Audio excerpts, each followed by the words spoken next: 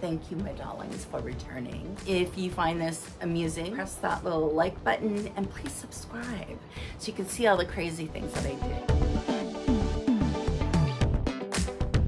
Pret-a-porter, which is ready to wear, which is uh, already made, just simply, you know, a design off the runway, ready to wear. And then we, we trickle down to high street is what they call it now. Back in my day, we didn't call it anything. in the 60s and 70s, we started having these groovy uh, boutiques uh, pop up that would carry this streetwear type of item. But of course, those designs were much more radical. People, a company or a designer that would recreate these things in a much more acceptable manner uh, for middle America to wear to work, to not be controversial, etc. Now we get high street, um, but it was cheap and we didn't know about the cheap labor practices and we didn't know about the chemicals that they were using.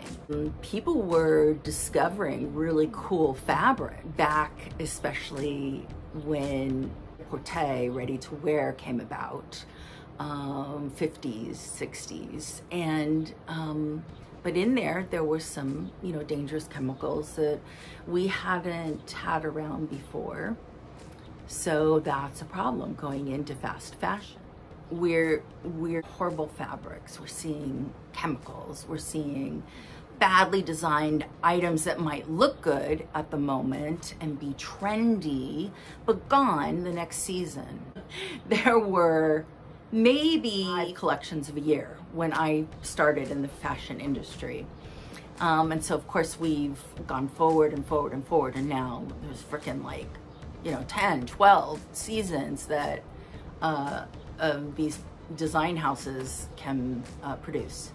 And so you have a company, a, a fast fashion company producing 500 new items a day um, in each factory. And think about that.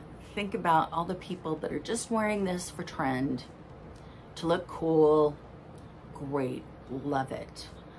But they're wearing these horrible fabrics, this terrible tailoring and they may throw it out, they may donate it, but where's it going?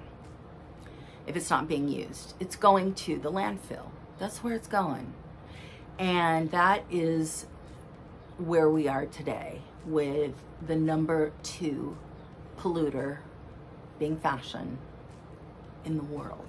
I buy things, um, at a thrift store, at a vintage boutique, at a, especially I love estate sale. And I am wearing it.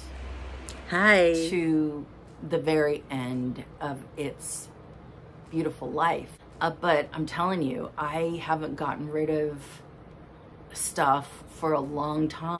Um, and if I do, I sell it on the pre-loved market and I feel like I'm giving it to somebody who can have something fun, something historical and hopefully, you know, and if they don't recognize the history behind this, that's okay.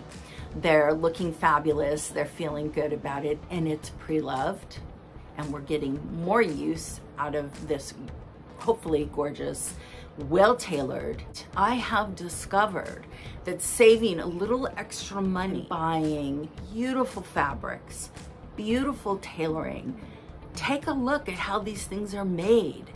They're they're ready to fall apart in a month, you know? And even luxury brands are terrible these days at quality control. We're seeing some pretty radical stuff out there. So, you know, we need to do our homework. We need to see what, you know, what the problems are out there. You know, um, just put in to your web browser Chanel quality um, issues. And so many things are going to come up that you're going to be shocked about. their handbags and things just falling apart. Their jewel, their custom jewelry just falling apart, baby. And how much are you paying? So we also need to not assume that luxury goods are good. So we need to do a little investigation before we go out and spend our hard earned money.